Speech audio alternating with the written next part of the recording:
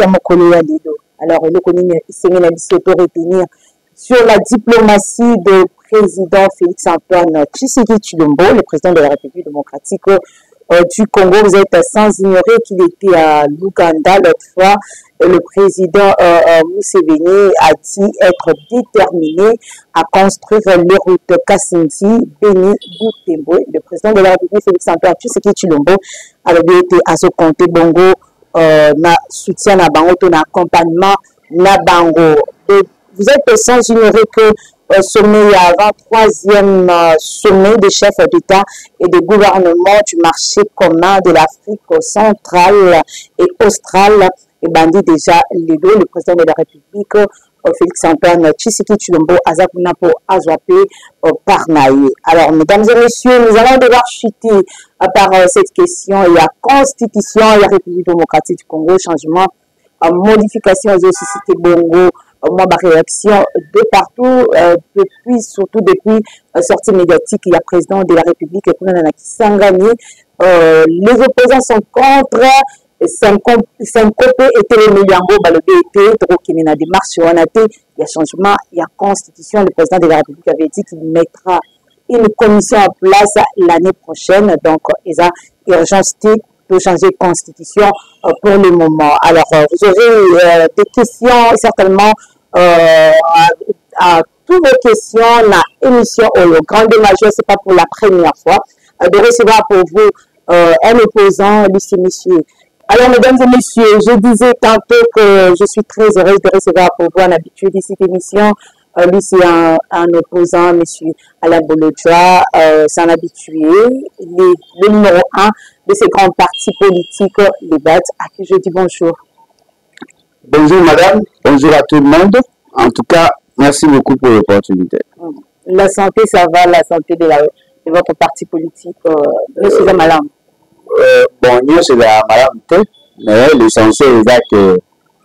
le parti évolue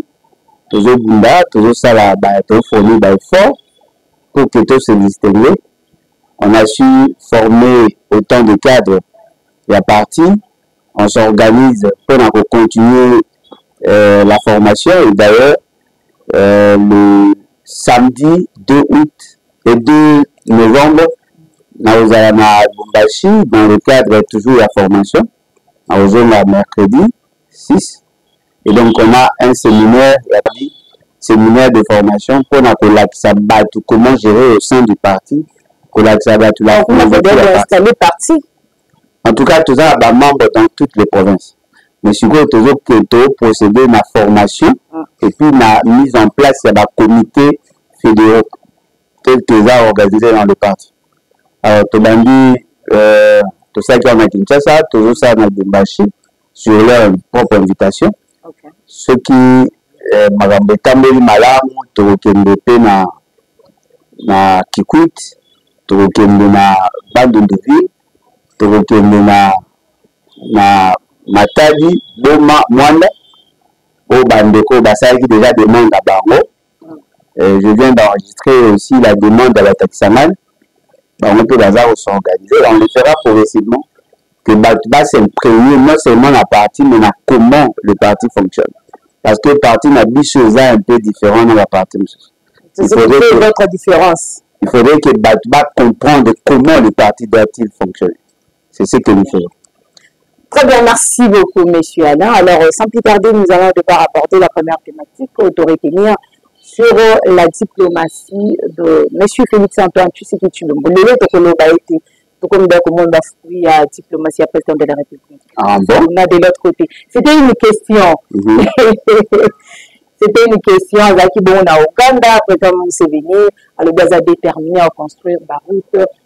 euh, a réintéré encore euh, euh, son engagement pour na construire baroute wana mhm. lelo aza de l'autre côté euh, est-ce que lelo tokoloba ete coup de chapeau na diplomatie ya président de la république félix antoine tshisekedi tshilombo bon coup oui chapeau oui mais coup de chapeau je ne sais pas eloko ezali vrai ezali que bato ya mayele oyo bakorefléchir vont se rendre compte que la diplomatie oyo ezo porte bafui eza diplomatie ya museveni ya félix te non félix eke azo subir ye aza na type ya la diplomatie inutile monsieur museveni a des problèmes au niveau de son pays ah. parmi la problème il y a la question sécuritaire il y a un groupe ya bato oyo bazalaki ba, ba adf na ba mali adf mali bazalaki kopose kokoze euh, desolation na mboka na ye ya pe un groupe ya bato batyaki ba bombe ah. na kampala bato bakufaki d'après ce qu'on nous a dit alors dans sa diplomatie il a convaincu félix sekedi ya kosimplike sur la question sécuritaire ya baougandais okay. c'est cette démarche qui a permis à ce que l'ouganda puisse déployer ses gens chez nous et traquer ceux qui sont appelés les terroristes, ah. les ADF. E il a pu obtenir ça. A attaqué les ADF, il semblait que bah, avancé ça Et arrivé, na ngonga moko ba ba basengi na Ouganda à partir ya EAC ya kotinda ba troupes na ye awa na cadre ya ya sécurité ya RDC atindi ba troupes na ye ndambo babima bamosusu batikali ces troupes là sont là ya mibale l'Ouganda se rend compte que le Rwanda a gagné beaucoup d'argent en faisant trans, euh, trans, euh, transiter ba, ba exploitation ya ba minerais ya biso ya partie est par le rwanda mm. l'ouganda a pensé qu'il fallait aussi ye pas profiter na yango il a convaincu celui que vous appelez président ya kopermettre à ce que baexploiter formellement baressources okay. et cela demandait à ce que batonga nzela parce que il y a des produits manufacturiers ya uganda oyo ifo etekama na congo mm. ya partie est il y a des produits agricoles ya est ya congo il faut etekama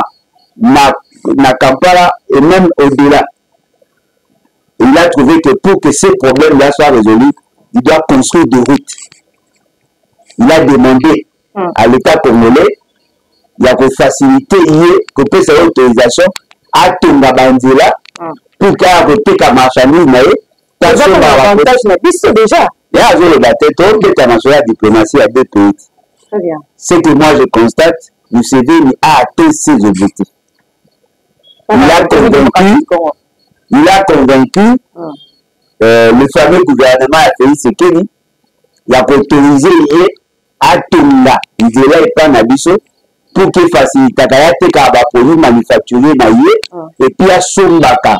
baproduit oyo eutela epa na biso tel que le bois le café le cacao la, le banane et ainsi de suite baproduit wana ye azozwa yango atransforme pour alimenter son industrie manufacturière esi aza na posa ya bamatière première tel que l'or et ainsi de suite ah. etekama epa na ye il a appelé félix sekedi ayebisi ye voilà ce que moi je vais faire félix sekedi abi ah soki bosala yango ekozala mpe malamu mpo na biso avantage non le problème maintenant ce que ezali la personne qui a pris l'initiative ah. atteint son objectif bino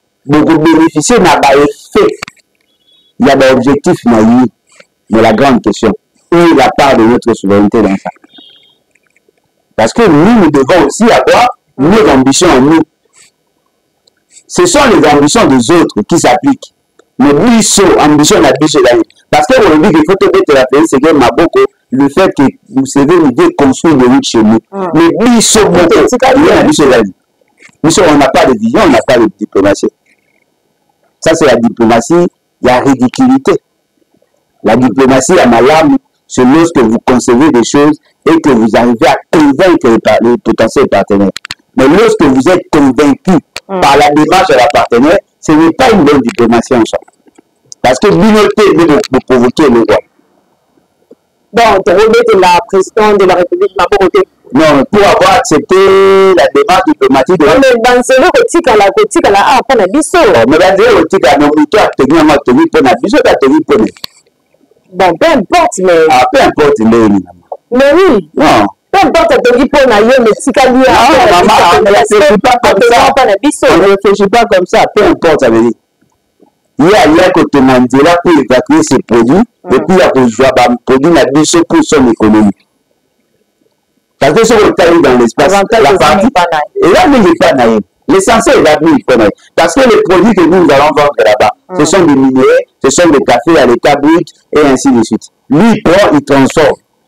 Il vient les vendre chez nous. Parce que le produit, bato bayebi la partie, bao baviva na, na ituri, na aviva na ituri. Bao baviva na ituri, bayebi, kobanda ozwi ka aru, bajubu nyonso wana ti babunya, ozwi ti na nyanyanya. Ah. L'essentiel ya baproduit oyo esalama kuna eyitaka Kampala, eyitaka Kenya. Voyez-vous? C'est-à-dire que l'économie est tenue par baproduit wana. Ciment, carburant, nyonso, carburant etala Somalie. ozwi eh, basucre eutaka kuna sucre eutaka kuna mungwa bateni kutu ya bauniforme ya bana eutaka kuna hmm. bango bazwa marché na bango epa na biso mais il faut bina to se poser question qu'est ce que nous nous allons vendre là-bas avec une valeur ajoutée il y en a pas ngai ya neti toyebani non papa voilà euh, nalingi nasala boutique na ngai hmm. naye kotonga nalingi natonga euh, ndako na lopango na yo naasala boutique na ngai eh, yo mpe okoya kotya babiloko na yo koteka eh, tokoteka ti na suka mpe eh, ndako wana lelo soki lokatara alingaki na ndako wana etikala yanga ouais mais attendez il faut oyeba sikoyo okende temps parce que nzela mpenza na durée de vie nzela eza batongaka nzela nini mpo na 15 ans hmm. soki ye asalela asalela mpe esi nzela ekufi wansoka Tshisekedi au comprendre eloko asala te so anga au comprendre il allait réfléchir à deux fois c'est pas comme ça on négocie donc, donc selon bino falaki pa andima to aluka to to tosala euh, euh, accord moko to coopération moko gagnant gagnant tout ça non mais c'est comme ça que ça se fait voilà moi je vous amène d'ailleurs soki olandi Félix Tshisekedi il a tenté de vous mentir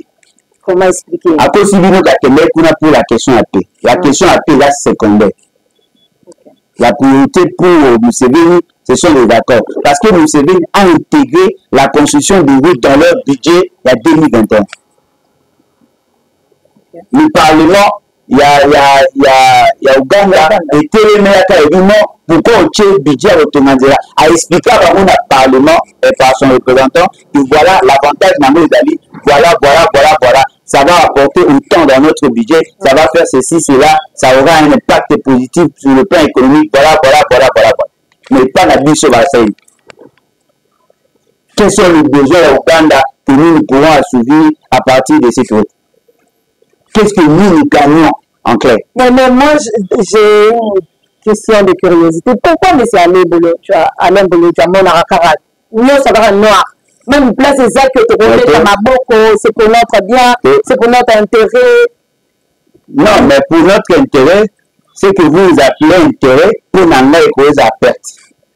ça dépend maintenant de comment vous percevez les choses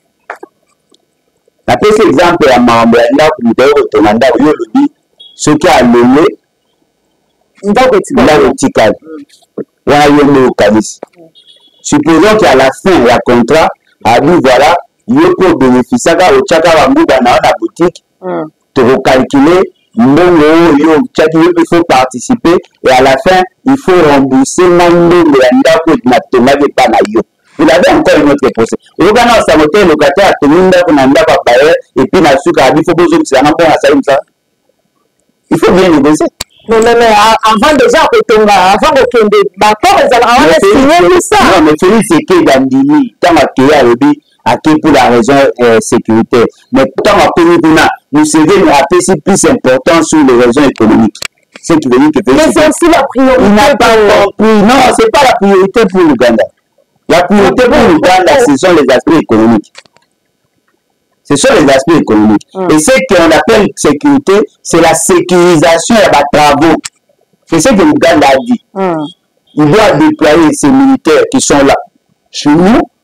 tout au long ya banzela pour empêcher à ce que bato badérange ba batravaux mm. il va sécurise bato na ye baoyo osala mosala c'est ce que l'ouganda dit mais fei ce qui fait semblant eza sécurité ya peuple eza sécurité ya peuple te eza sécurité ya batravaux Ah, c'est pas sérieux. Il est de notre côté, na Burundi, président de la République, qui ici a participé na 23e sommet de chefs euh, d'État et de gouvernement du marché commun de l'Afrique orientale et aux Allemands, discussion autour de la coopération économique opekaka ya diplomatie ya président de la république te tokobetele te maboko te oh, tobetele maboko mpo atekone eza tombe apres ndenge yo ndenge yo ozokanisa président de la république apamba te mais fei seke akenda yango pamba Avant aza mbala ebele, est-ce que eza mbala liboso a participer na ba sommet ya Comesa? Est-ce que eza mbala liboso a participer na makambo ya SADC? Est-ce que eza mbala liboso a participer na CAC, na EAC? A participer na ye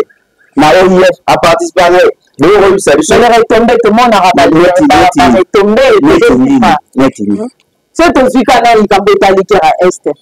grâce ya na diplomatie ya félix tshisekedi nde tokomi na niveau oyo niveau nini tokomi te mais gere siliki na kotika kotino le monde entier au courant que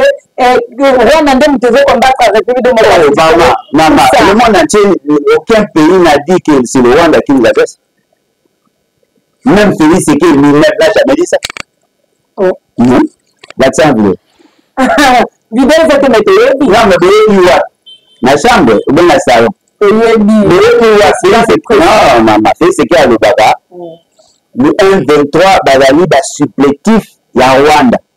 le Rwanda soutient le Rwanda. 23 Il n'a jamais dit que nous sommes agressés par le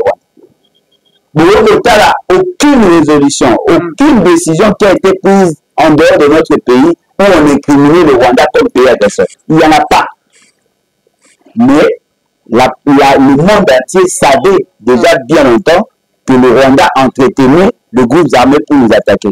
La résolution 20, euh, 2098, ah. la résolution 2211 et 62 autres résolutions, il y a Conseil de sécurité, la pointe à l'idée le Rwanda.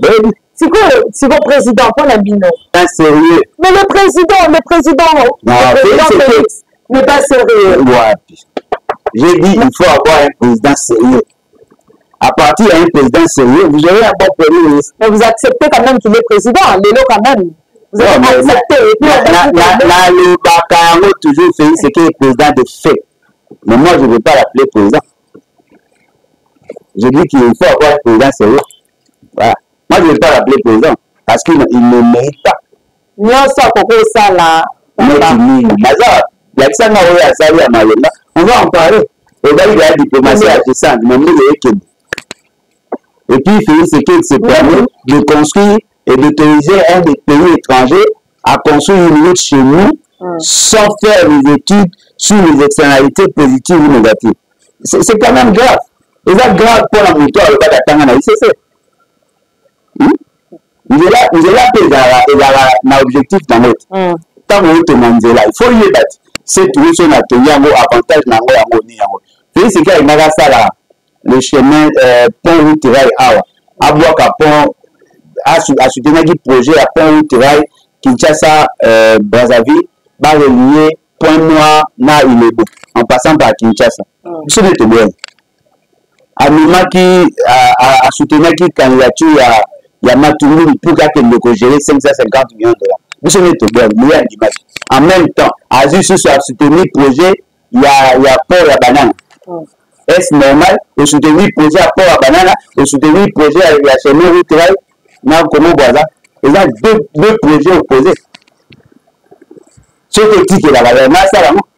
biso nde toboyaka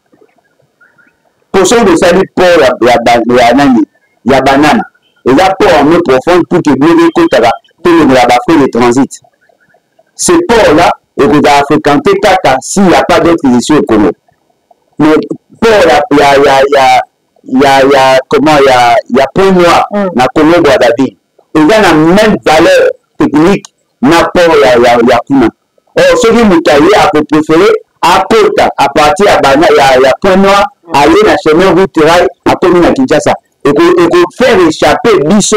des externalités positives ya présence ya port mais lui n'avait pas compris ça lelo tokoki koloba ete le pays n'est pas bien géré non felix ekeli n'est pas digne d'être président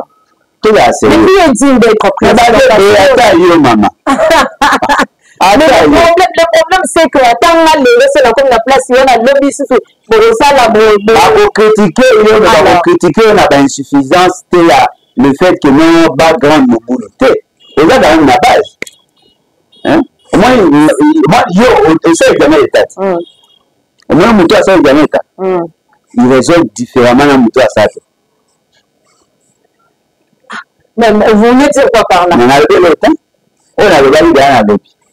je signale que c'est les propos du président alain bolotwa na signale alors nga mpe na signale deja propos ya name ye mpo yoki eloko nini esenge na biso to retenir sur euh, la diplomatie ah. abenga yango diplomatie ya naïvité oh. bato nyonso te bazokanga justemona bato nyonso azomona bango baza omona bango ndenge baza normal ah, yo nde moto olobi diplomatie oyo ezosibi ebengaka diplomatie diplomatie ebengaka oza na baambition na yo oza na baobjectif na yo oza kofaire influence na bato mosusu ma oyo ya biso ezali toyosibir nde ya baninga ça c'est la diplomatie ya museveni eza ya biso te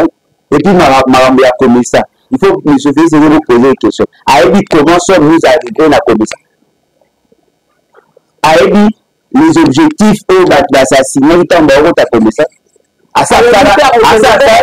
ayebi te bino bosurestimaka ye asa asala évaluation ya niveau ya participation na biso na komisa et quels sont les avantages que nous avons pu tirer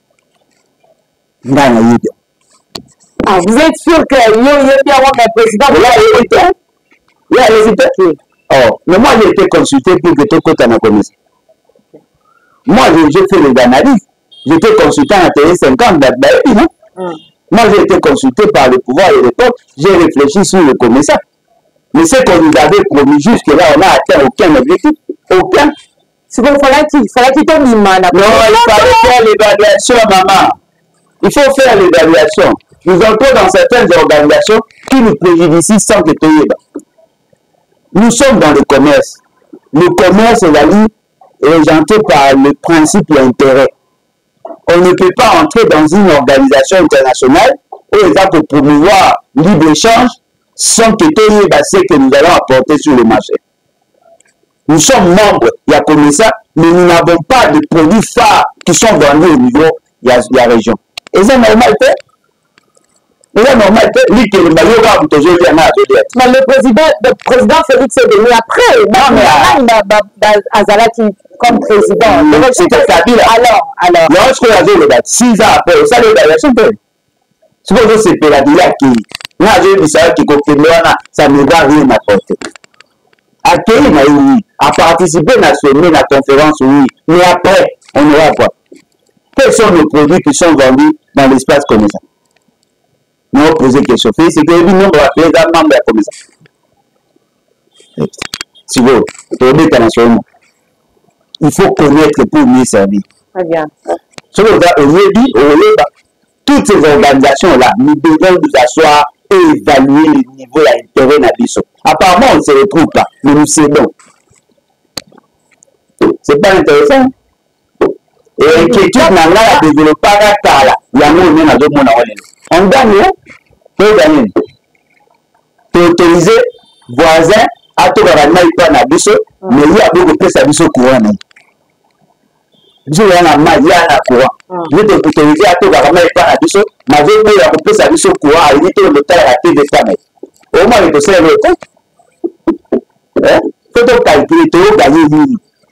soki toye eloko tooganye on peut continuer soki tomoni ke tooganye te on se retire esi wana na komisa tooganye eloko te bamama fo to se retire est ce que ye ayebi eloko tooganye il faut ayeba nani mpo ye tokumisa akekomisa akekomisa nini me toganye nini parce que les l'essentiel ya baproduit oyo ezotekama epai na biso ezotala pays ya komisa na opose question biso toyoteka nini mpo meme mafuta ya mbila epai na biso ezouta indonesie toyoteka nini masango ezouta angola l'essentiel ya babiloko toyokonsome epai na biso ezouta ya bapays wana siko bango baokonsome nini na biso qu'est-ce que nous nous produisons le cuivre le coltan le cobalt qui sont consommés par le mbele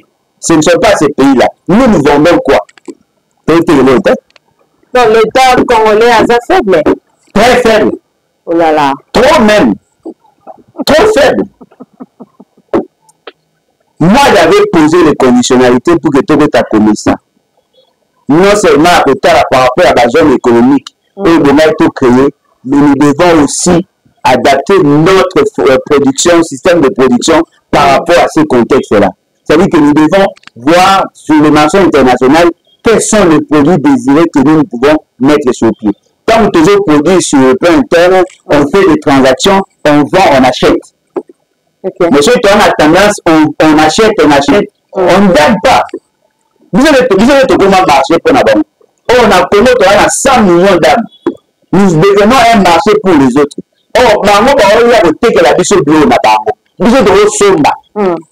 c'est ce qui fait même que même le dollar toya na problème ya kogere mbongo faut toreflechisaka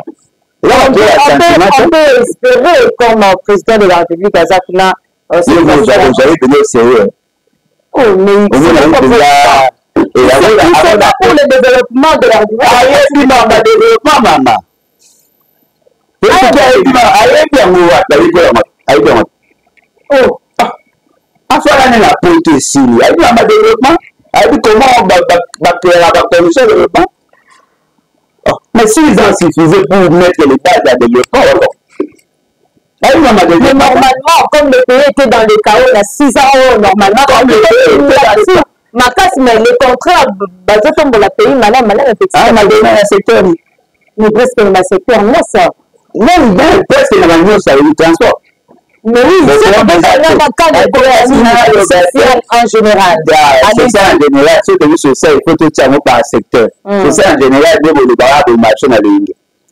Prenez d'abord le secteur ya transport. Nous avons un système de transport multimodal. Mm. Toza na ba, ba avion et sur vola pas na biso. Tozali na euh, ba bateau, tozali na euh, chemin de fer, tozali na ba route, tozali pe na accès na océan. Mm. Dites-moi sur les cinq sous-secteurs de transport, quel est le secteur qui marche dans ce pays? Exact. Okay. Exact. aucune compagnie aérienne toza nango na avion eza te aucune compagnie ya maritime toza na bamaswa te aucune compagnie ya fluvial ya kiste eza te toza na bacamion te ezosala banzela le seul compagnie oyo toza nango ezaka ya transco eza déjà en faillite on a rien maman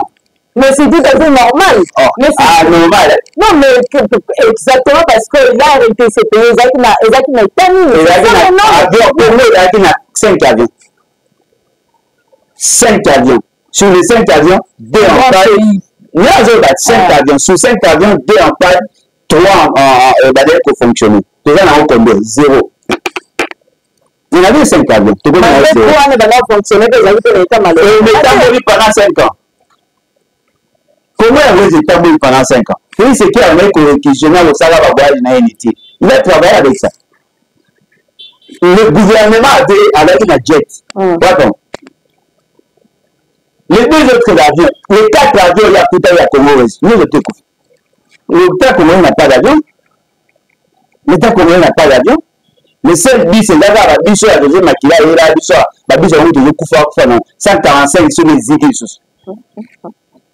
on a rien il y a aucun bateau ya l'état aucun bino bobenga changement wapi le système ya transport prix ya transport kutu moto moto aofixe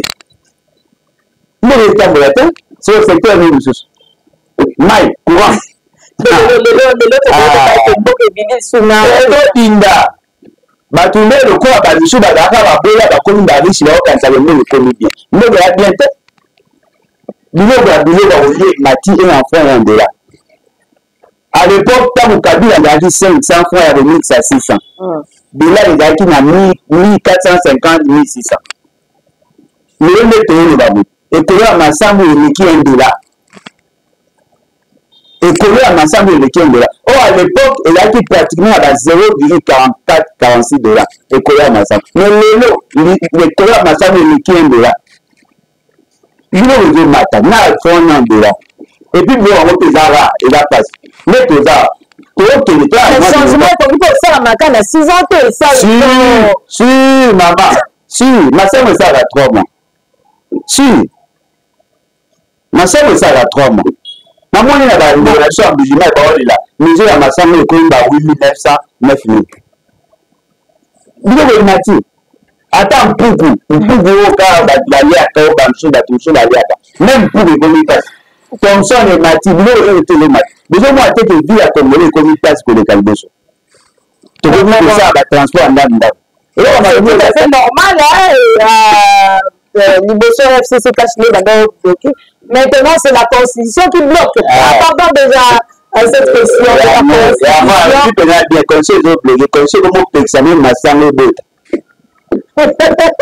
eh, constitution ekoki kopekisa me masango ebota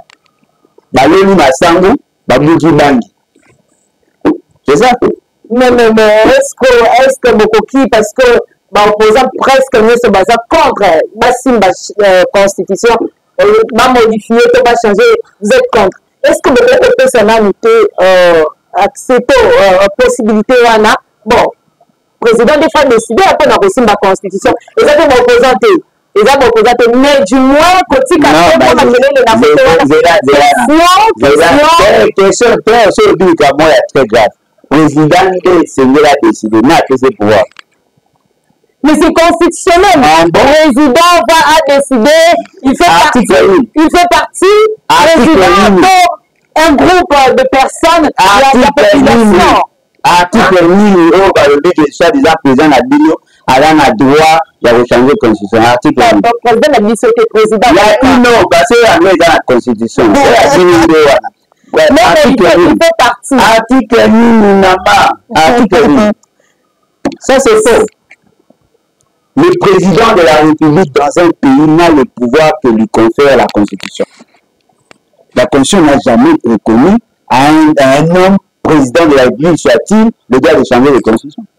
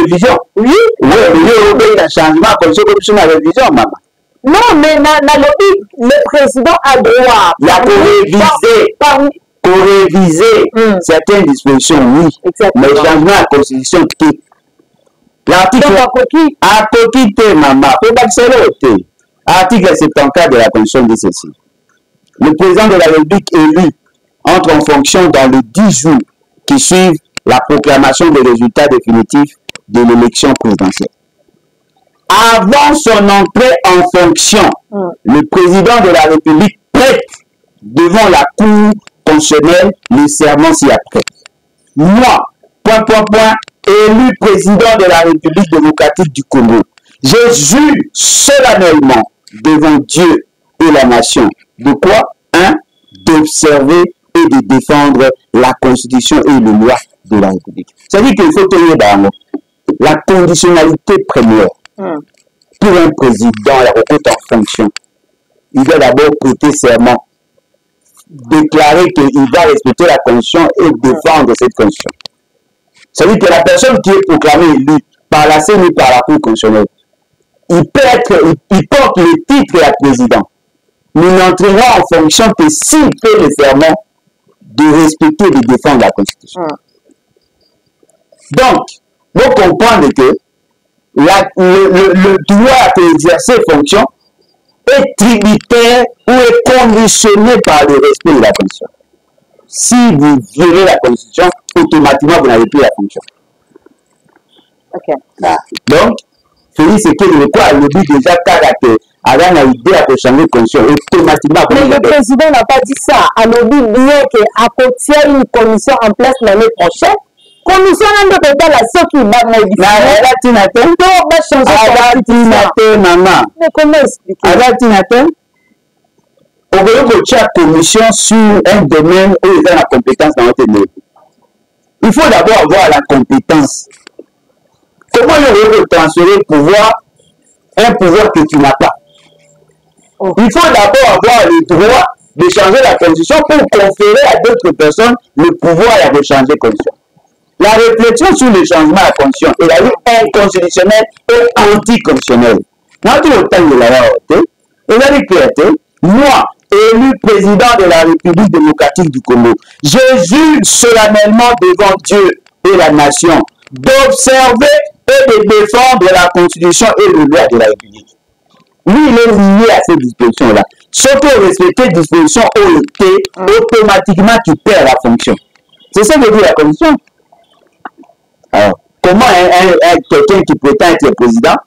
azoloba non je vais signer l'arbre sur lequel ah. bokonzi na yo efandi mais mama yo eza likolo ya nzete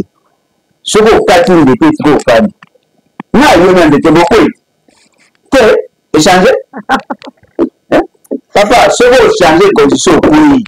initiative kutu kaka ya koatate condition okwei tu deviens rebelle c'est de la rebelle akokoya nde mwana nanga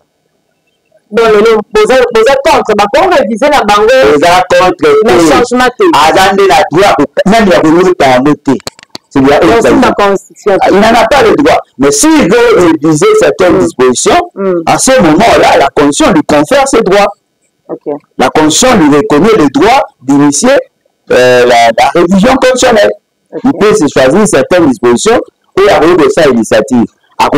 mettre en place une commission mm. ou le constatuer sur les dispositions à réviser, ce qui a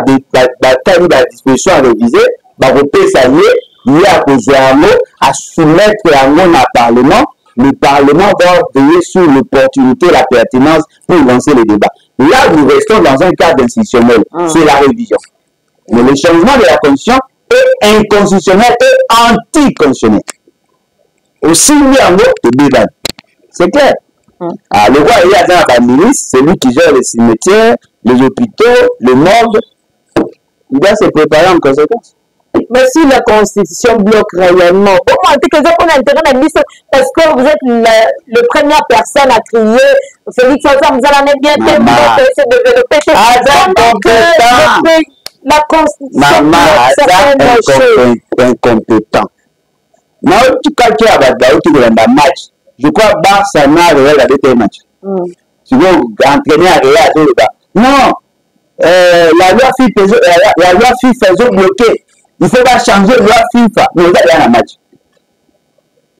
ata soki bachange ye nde te moto obénéficie na yango bakochange yango après match mais eza deja na match mais lutte moi un peu quels sont les besoins quels sont les problèmes qui assaillent la population ou l'état congolais aujourd'hui la question sécuritaire dans l'est la question ya gouvernance ya mbongo ya l'état parce que félix eke et sa bande ont mesuré l'argent de l'argent public vous n'avez pas idée bowuti koyoka le rapport sur la réduction des comptes le scandale oyo esalami oyo ebele meme kamere meme kamere aolela scandale oyo esalami près de la moitié ya budget ezalaki nigéré près de la moitié nayebisaka mamba sani ya kati ya mio nayebisaka bino mamba lwa sur la réduction des comptes nabayaki bouganda bocetembe na basi na bango base retrouve na baligne de crédit na kati ya budget le dépassement budgétaire à la présidence 429 millions de dollars de surplus oyo bainstitution edépense en sus ya oyo bapesa ye bango mais peut-être bozoyeba te les institutions elles seules mm. baconsommaka biso pratiquement dans les 3 milliards de dollars mais bafai efi dépassement ya 429 millions ça ça bloque effectivement mm. nicolas kaka ali bloque mpo ayibi mbongo oyo oh, bozi bozi oyo ministre ya budget bloque mpo ayibi mbongo na ministre na bino ya infrastructure bloque mpo ayibi mbongo bato ebele baministre na bino ya kala ya défense tututu bayibi mbongo baministre ya intérieur ils ont dégéré mais alors au lieu de tochanger constitution tochanger bango lokola félix ekeli talo tika bango basala mabe tolongola félix ekeli e mama tolongola félix ekeli so tolongoli ye mwa mobali wana ndoki ekozwa bakonzi ya malonga il va mettre le l'ordre parce que kolona masango esengalelo mokonzi nini motu nini oyo aza compétent akoa nyonso oyo nyonso akoka korepondre na bakestion ya exame na ya bainterrogation aza prédispose wana yo nde olobi oh. eh? wana yo nde olobi oyo nyonso akoka korepondre na bakestion na interrogation na examen aza prédispose ya kozala un bon président le reste des éléments on va apprécier soki aza na expérience na background c'est tout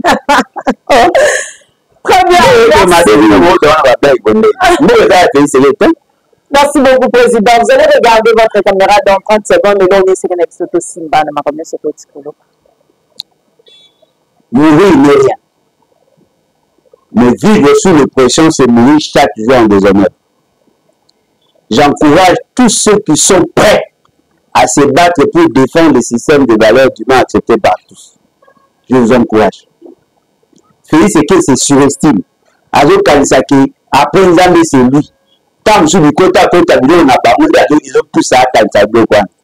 mais toyeba yango si ce monsieur gagne c'est fini c'est paye le pene mazuta il faut tosala nyonso qu'il échoue